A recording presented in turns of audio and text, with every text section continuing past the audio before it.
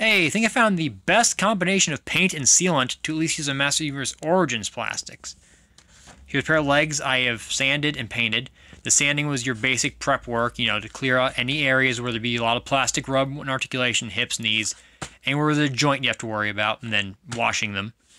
And then I put about, I think this was three coats to get a good solid coverage of the color I mixed, and then one layer of sealant on top. And this stuff is really hardy. I've been traveling with this custom for a little bit just to see how it'd go with uh, traveling. No damage in that. I'm going to press really hard with this toothpick not doing anything. It's really hard to show us on camera, I'll admit, but I'm trying to go hard with this with one hand. Uh, but yeah, it's not doing any damage. Chip on my fingernail quick. No damage. And I think there's a hold to pretty much your basic everyday wear and tear.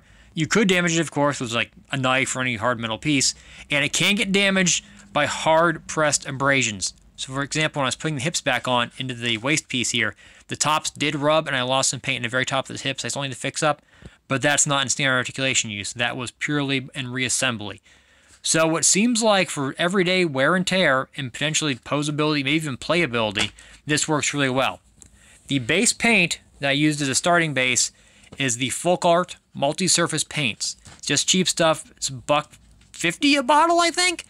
And uh, you can mix your hobby paints in with it to get better colorations because the color uh, selection of this is a bit limited but the actual like formula of this paint for whatever reason grips this plastic super well.